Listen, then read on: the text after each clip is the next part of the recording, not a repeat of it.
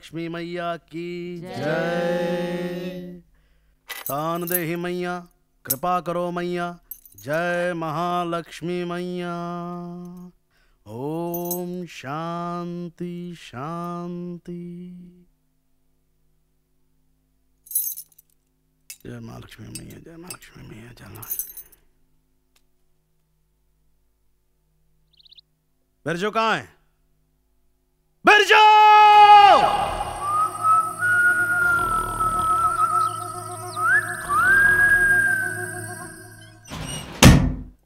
ये देखो सूरज आसमान पर चढ़ गया है और लाट साहब पड़े पड़े सो रहे हैं अभी तक। अरे हम इसकी उम्र के थे ना तो सुबह सुबह निकल जाते थे कपड़ा बाँध कर साइकिल पर सुबह छह बजे। और शाम होते ना होते सौ पचास कमा कर ही लौटते थे वरना ओम जय लक्ष्मी माता कृपा करो माता। अरे वरना खाते क्या और खिलाते क्या किसी को? ये तो किस्मत है अपनी अपनी हाँ ठीक कह रही है। भाई जब मुफ़्त की खाने को मिले तो मेहनत कोई क्यों करे हैं? करता है मेहनत। कल रात देर तक पढ़ रहा था। पढ़ रहा था? अरे बत्ती जलाकर सो रहा होगा। अरे नहीं जी मैं गई थी ना दूध देने। ऐसा खोया था अपनी किताब में कि मेरे अंदर जाने का उसे पता ही नहीं चला। तुम तो हमेशा बस। देख उषा रानी मैंने बहुत नाटक देखे हैं उसके और भगवान के लिए अब तू उसकी तरफदारी करना बंद कर। चलें बाबूजी दुकान का वक्त हो रहा है। देख ले ये भी तेरा ही बेटा है वैसे। आ बेटा राम कुमार ले बेटा संभाल जी। प्रणाम बाबूजी हाँ लेता आऊँगा शाम को तेरा रामदाने का लड्डू। एक चीज़ दिखाऊँ फिर दो लाओगे? भाई चीज़ अच्छी बताएगा तो लाना ही पड़ेंगे हैं? कल रात को पता है चाचा क्या पढ़ रहा था? क्या पढ़ रहा था? ये पढ़ रहा था चाचा। अच्छा ये पढ़ रहा था? काका तिलसिम देखो पप्पू बेटे ऐसे किसी की चुगली नहीं खाते। ना तो क्या तेरी तरह मुँह सीकर बैठे रहे? क्या नमूने पाए हमने भी? एक जिसको सोने से फुर्सत नहीं और दूसरा जो है जाग कर भी सोता रहता है। क्या हुआ जी? क्यों चिल्ला रहे हो? शुक्र मना सिर्फ़ चिल्ला रहा हूँ और कुछ नहीं कर रहा हूँ। और वो तेरा लाडला रात को पढ़ रहा था ना? ये देख ये देख क्या पढ़ रहा था? ये पढ़ रहा था वो। ऐसी ऐसी किताबें पढ़ने लगे हैं। सुनो जी दूध तो पी लो। जाओ जाकर उन्हें पिलाओ जो रात भर पढ़ते रहे हैं। अब तक तो कमज़ोरी आ गई होगी ना? दूध से ऐसी क्या नाराज़गी? देख मेरी फ़िक्र छोड़। उसकी फ़िक्र कर। हाथों से निकला जा रहा है तेरा लड़का।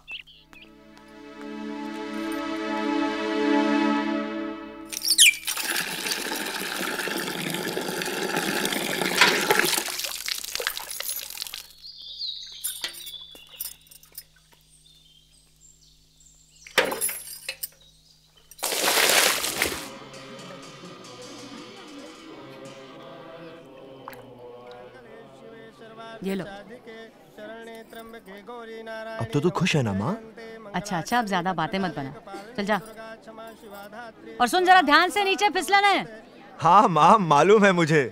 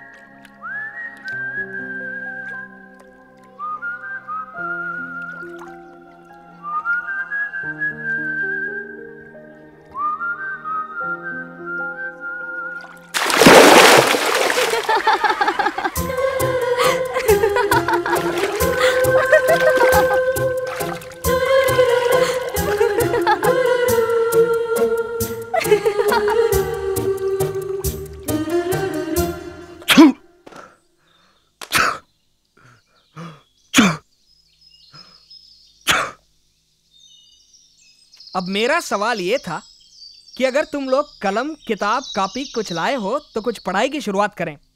लेकिन उन्होंने चार छींकों से चारों जवाब दे दिए। न इनके पास कलम है, न किताब, न कॉपी, न पढ़ने का इरादा। ये हुई इनकी कहानी। अब दूसरों का इरादा हो तो कुछ पढ़ाऊं? लेकिन पढ़ाऊं भी क्या? इस कॉलेज में ना बेंचेस है, ना क्लासरूम। अरे मेरी शक्ल क्या देख रहे हो? पढ़ो। मेघदूत मास्टर जी, क्या है? ये दिन में छठी बार चिट्ठी आई है। ये कॉलेज है या पोस्ट ऑफ़िस? नया एडमिशन है? क्या नाम है तुम्हारा? जी, नेहा।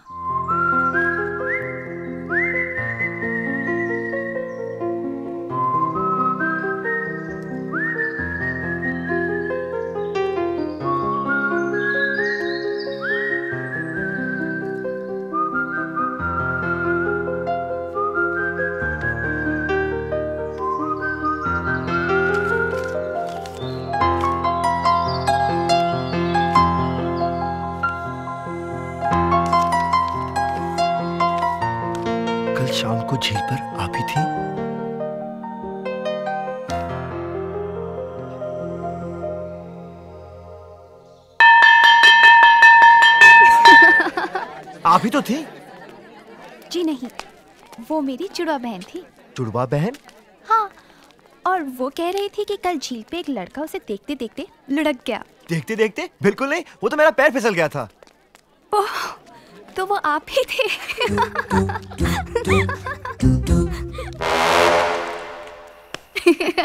दो दिन वे नहीं आए और हो गई तेरी शरारतें शुरू हाँ? पागल। जुड़वा बहन। एक मिनट के लिए तो वो मान भी गया था। बुद्धू नेहा हाँ माँ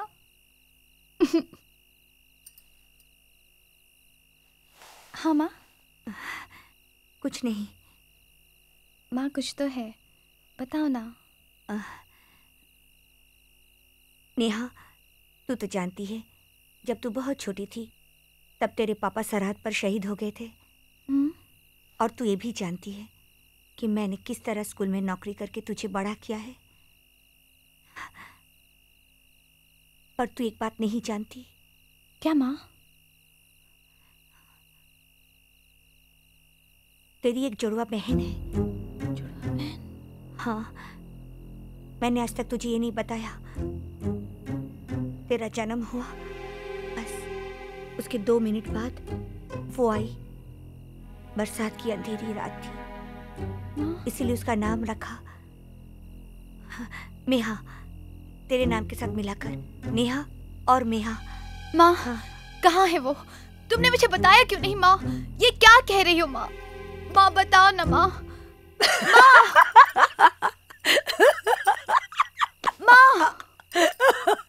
माँ! माँ! बन गई ना बुद्धू। ऐसे को मज़ाक करना होता दूसरों को बुद्धू बनाने वाली। हाँ, खुद बुद्धू बन गई ना। नेहा और मेहा।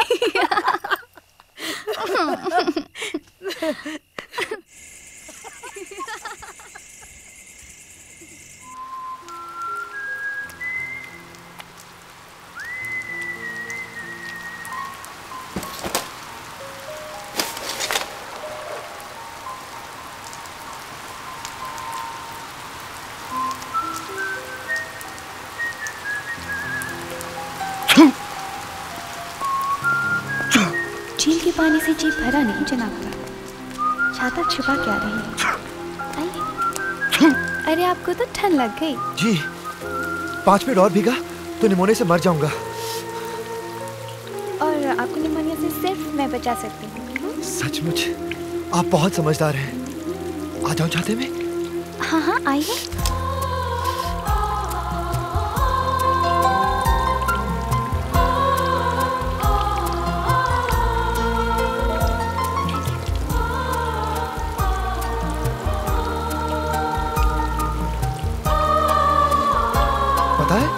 नजला मेरे दादाजी को था मेरे पिताजी को है और अब मुझ पे पड़ा है। इसलिए आती है एक साथ चार चार छीके। चार चार छींकी। उस पल अगर कोई मुझसे जन्नत का एड्रेस पूछता तो मैं कह देता रिवाल सर झील के किनारे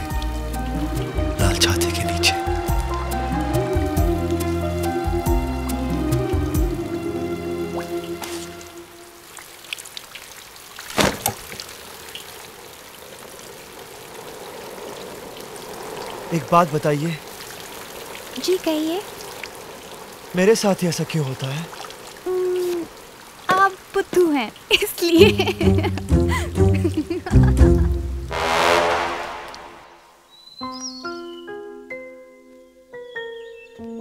आप जानती हैं मैं मंदिर के बाहर क्यों बैठा हूँ? जानती हूँ। क्यों? अरे मुझे देखने के लिए और किस लिए? आप समझती है कि मैं कोई बुद्धू हूँ? जो आपको देखने के लिए यहाँ बैठा रहूँगा? जी। आप गलत समझ रही हैं। वैसे मैं बहुत समझदार हूँ। वैसे मैं आपसे ज़्यादा समझदार हूँ। कैसे? क्योंकि अगर बातों के बहाने आप मुझे रोकने की कोशिश करेंगे ना तो मैं रुकने वाली नहीं। अरे जाइए जाइए मैं तो आपको रोकूँगा ही नहीं। इसीलिए तो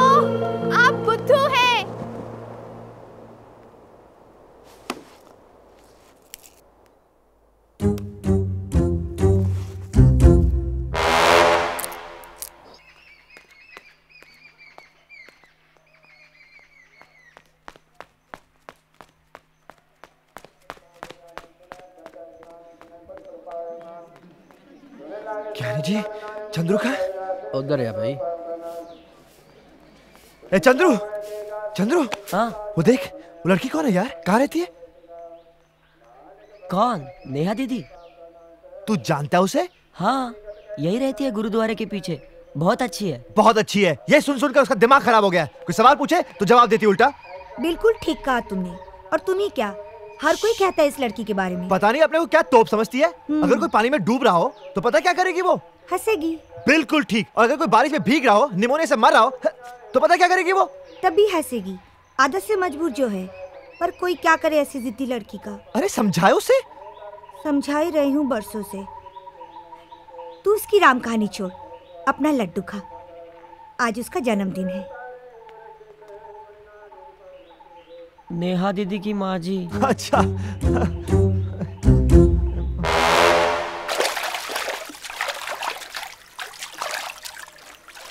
एक बात बता। ये मेरे साथ ही ऐसा क्यों होता है? लोग जन्मदिन पर क्या क्या देते हैं? और मैंने क्या दिया? गालियाँ। तो अब उपहार दे दो। ज्ञानी जी कहते हैं कि एक उपहार सब हार को जीत में बदल देता है। उपहार? ये मेरी कमीज पहनी है तूने? हाँ। पहनी है ना? हाँ। मैं तेरी हमेशा मदद करता हूँ ना? हाँ। तो चल मेरे साथ। लेकिन करना तो क्या चल है? उठ।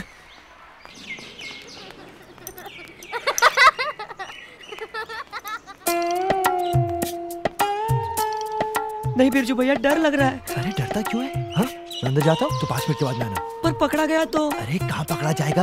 अपनी दुकान है? हम चोरी थोड़ी ना कर। रहे। अच्छा तू घबरा मत। पर बिरजू भैया।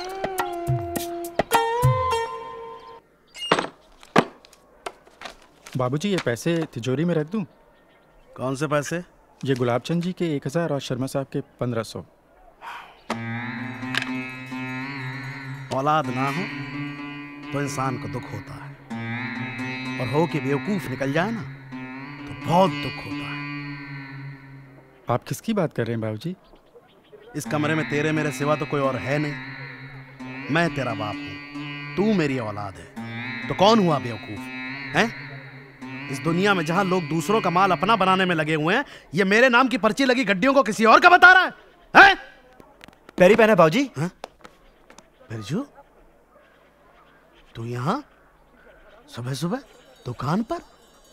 क्या हुआ क्या तुझे? चमत्कार बाबूजी चमत्कार? हाँ बाबूजी चमत्कार ही हो गया। वो झील का किनारा वो आरती के स्वर और वो हज़ारों दिए और उनकी रोशनी में वो देवी के दर्शन। देवी? हाँ बाबूजी उसे देखा तो आँखों से पर्दा ही उठ गया। अब सब कुछ साफ़ साफ़ नज़र आ रहा है बाबूजी साड़ियाँ, दुपट्टे, सूट के कपड़े। बेचूँगा बाबूजी, हर रोज आऊँगा, आपकी सेवा करूँगा बाबूजी। आज से पितृ भक्ति मेरा धर्म है, मेरा कर्म है।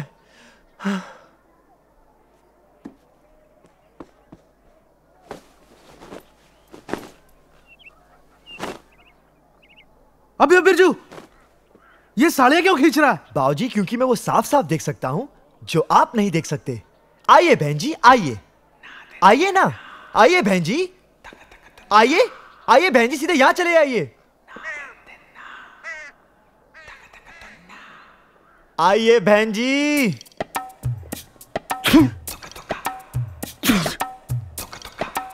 बहन जी मैं आपको देख नहीं सकता इसीलिए ये नहीं कह सकता कि आप हैं कौन मैं चंद्रू मेरा मतलब बेटी बहू माँ या दादी मैं इन्हें देख नहीं सकता ना, इसीलिए। अगर आप बेटी हैं तो आपके लिए ठीक रहेगा शिफॉन, महेश्वरी या कांजीवरम। अगर आप बहू हैं तो आपके लिए ठीक रहेगा बनारसी पटोला या सरी बूटी अगर आप माँ हैं तो आपके लिए ठीक रहेगा टस्सर। मैं आपको देख नहीं सकता ना, इसीलिए मैं इनको सब कुछ दिखाता हूँ। ये तो सचमुच का चमत्कार निकला। बेटा राम कुमार ये कर क्या रहा है? साड़ियाँ बेच रहा है बाबूजी। हमें भी दिख रहा है ये। देखिए माल ही कुछ ऐसा है। आप लेने एक आई हैं लेकिन लेके जाएँगी तीन। तीन? ये लीजिए ये लीजिए ये लीजिए। और बाई चांस अगर आप दादी हैं तो सूट का कपड़ा लिए बगैर तो जा ही नहीं सकती ना। ये देखिए।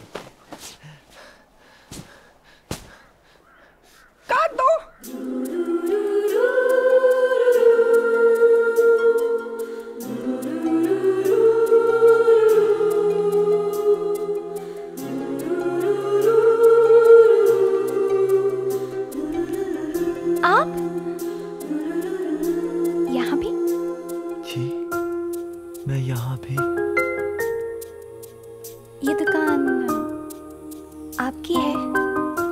आप अपनी समझ लीजिए। कहिए क्या पेश करूँ? गरम या ठंडा? एक ठंडी चुन्नी दिखा दे इस सूट से मैचिंग इन्हें पहले निपटा लें। इन्हें कोई जल्दी नहीं है। जल्दी है। आप बैठिए। आप देखिए। अब देखती जाइए। मैं दिखाता जाता हूँ। सुनिए ये क्या कर रहे हैं आप? मुझे सिर्फ़ एक ही चाहिए। अगर आप एक ही दुपट्टे लेंगी तो बाकी के दुपट्टे मुझे कभी माफ़ नहीं करेंगे।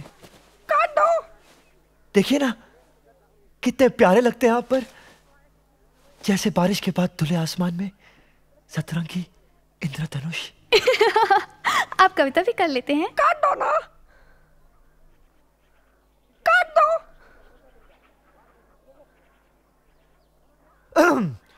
दुपट्टा बेचने के लिए एक अच्छा दुकानदार कविता तो क्या महाकाव्य भी लिख सकता है। बेटा राम कुमार ये तो कमाल का दुकानदार निकला है। गुड सेल्समैन बाबूजी गुड सेल्समैन ये देखिए ये पीला। बहुत ही अच्छा है। रख लीजिए इसे आप ओढ़ेंगी तो लगेगा जैसे सूरज की पहली किरणों ने धरती को चुमा हो। रहने दें। मेरे पास वैसे भी इतने पैसे नहीं उपहार है। आपके जन्मदिन पर हमारी तरफ़ से उपहार है। काट दो। काट दो ना। री- रीत है इस दुकान की। जो पहली बार आता है उपहार पाता है। फिर बार बार आता है बाबूजी बार बार। बेटा राम कुमार इसे कहते हैं दुकानदारी। सीख बेटा सीख। वही तो कर रहा हूँ बाबूजी। यहाँ बैठा बैठा सीखता रहेगा? वो दूसरा का बैठा जाता क्यों नहीं वहाँ पे? लेकिन मुझे पीला नहीं इस सूट से मैचिंग नीला चाहिए। नहीं आप जानती नहीं जब मैंने आपको पहली बार देखा था आपके कपड़ों का रंग पता है क्या था? क्या था? पीला आपका और पीले रंग का वो नाता है जैसे सीप और मोती सुबह और ओस। तालाब और पानी बारिश और छतरी। सुनिए बहन जी आप सीधा उधर चले आइए। हाँ? नहीं। नहीं नहीं भैया ये आप क्या कर रहे हैं? हाँ? क्या कर रहे हैं? ये ये मेरा पहला कस्टमर है मेरा मतलब ग्राहक। मेरे हाथों से निकल गया तो अब शुक्र होगा। पाऊजी पाऊजी अब शुक्र होगा। रोकिए। पाऊजी अब शुक्र होगा पाऊजी आप भैया को बुला लीजिए। पाऊजी भैया पाऊजी पाऊजी बुलाइए ना। भैया जाइए। पाऊजी बुलाइए। भैया भैया जाइए। भैया। बेटा राम कुमार। मेरा मुँह क्या देख रहा? है ना सुनिए। जी कहिए। थोड़ा करीब आइए। बोलिए। और करीब। जी। जो आपका पहले ग्राहक है।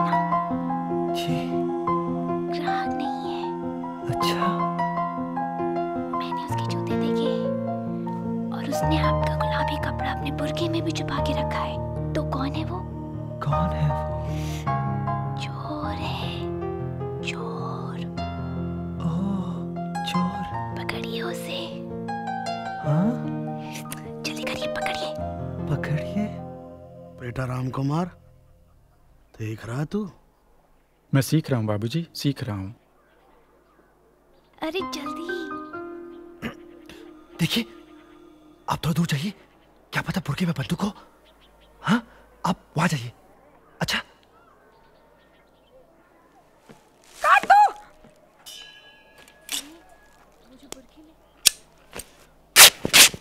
चंदू भाग यहाँ से भाग। कहाँ जाता है? अरे चोर। कौन है ये? चंद्रू? चंद्रू तूने ये क्या किया? मैंने मैंने क्या किया? क्या किया? मैंने पहले ही कहा था मैं बुरका पहनकर नहीं जाऊँगा। तूने कहा था? और आपने कहा था कि दुकान से साड़ियाँ चुरानी होंगी। मैंने कहा था? हाँ। हाँ हाँ मैंने कहा था। मैं और तू जानता है ना मैंने क्यों कहा था? तू जानता है ना? बोल बोल। वो ज- जन्मदिन पर। चुप चुप। मैं बताऊँगा बाबूजी को। बाबूजी एक मिनट। आप मेरी बात सुनिए। आइए बाबूजी आइए। बाबूजी आप समझते हैं मैंने चोरी की? क्या? नहीं की क्या? जन्मदिन पे उपहार देना चोरी है? जन्मदिन? किसका जन्मदिन? आज क्या तारीख है? बारह अगस्त। और बारह अगस्त को किसका जन्मदिन होता है? किसका? आपका तो नहीं। नहीं। मेरा भी नहीं। भैया का नहीं पप्पू का नहीं। और भाभी का तो बहुत दूर है। हाँ। तो कौन बचा? तेरी माँ? हाँ। तेरी माँ का जन्मदिन आज? फिर से भूल गए ना बाबूजी? पिछले साल भी भूल गया था। बेटा राम कुमार साड़ियों का फ्रेश स्टॉक निकाल चल।